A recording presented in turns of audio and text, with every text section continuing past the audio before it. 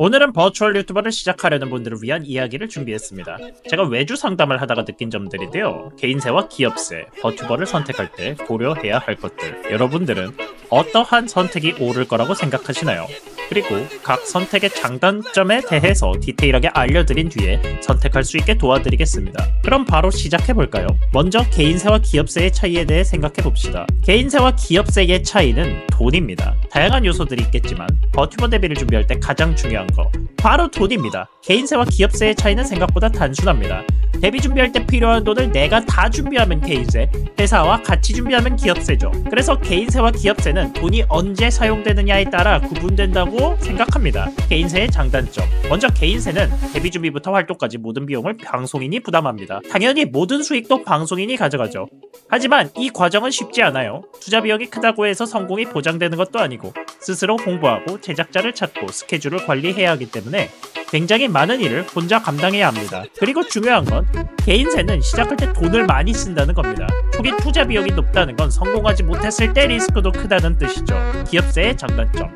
기업세는 어떨까요? 데뷔 준비부터 활동까지 일부 비용을 회사가 지원해줍니다. 하지만 여기서 중요한 건 회사가 모든 비용을 지원해주는 건 아니라는 겁니다. 그리고 방송 수익의 일부를 회사가 가져갑니다. 회사가 지원해주는 만큼 나중에 내가 벌어들인 미래의 수익을 회사와 나눠야 한다는 거죠. 기업세의 한계.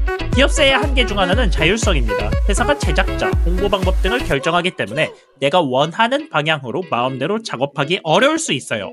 또 회사 기준에 맞지 않는 작업 방식은 허가를 받지 못할 수도 있죠. 그리고 기업세도 실패 가능성이 있습니다. 만약 수익을 내지 못한다면 회사의 지원은 점차 줄어들게 되죠. 성공하지 않으면 회사가 당신에게 손을 뗄 수도 있어요. 기업세의 장점.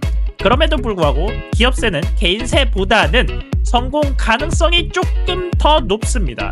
왜냐하면 회사가 홍보, 네트워킹, 그리고 기술적 지원을 해주기 때문이죠. 특히 기업세의 가장 큰 장점은 다른 방송인과의 케미를 보여줄 수 있다는 점입니다. 같은 소속사의 다른 버튜버들과 자연스럽게 관계를 형성하면서 마치 일상물처럼 다양한 이야기와 케미를 보여줄 수 있거든요. 이런 관계성은 시청자들에게 큰 매력으로 다가옵니다. 저는 기업세의 가장 큰 장점이자 방송인들이 들어가는 이유가 바로 이거라 고 생각합니다. 일상물의 등장인물처럼 될 수 있다. 나와 관계를 가진 다른 버튜버들. 그 관계 속에서의 내 매력도 보여줄 수 있다. 이게 기업세의 정말 큰 장점이죠.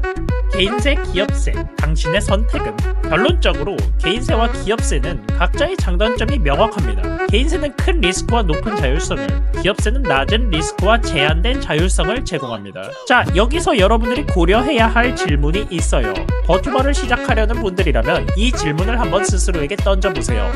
나는 초기 투자 비용을 부담할 수 있는가? 나는 혼자서 모든 것을 관리하고 홍보할 자신이 있는가? 나는 회사의 기준과 지원을 받아들일 준비가 되어 있는가? 나는 특정 그룹에 들어가서 특정 그룹 안에 녹아들어 활동할 자신이 있는가? 어느 쪽을 선택하든 버튜버로 데뷔하는 건 쉽지 않은 도전입니다. 하지만 여러분의 열정과 노력이 가장 중요한 무기가 될 거예요. 여러분은 개인세와 기업세 중 어느 쪽이 더 맞는 것 같나요? 댓글로 여러분의 생각을 공유해주세요. 구독과 좋아요는 다음 컨텐츠 제작에 큰 힘이 됩니다. 저는 다음에 더 유익하고 흥미로운 주제로 돌아오도록 하겠습니다. 이루스였습니다. 아, 근데 하고 싶은 얘기는요. 기업세도 잘 선택해야 된다는 겁니다. 기업세가 물론 성공할 확률이 조금 더 높다고는 하지만 지금 한국 시장은 모든 기업세가 개인세와 비슷한 리스크를 갖고 있다고 봐도 무방합니다. 진짜로 마무리였어요. 이루스였습니다.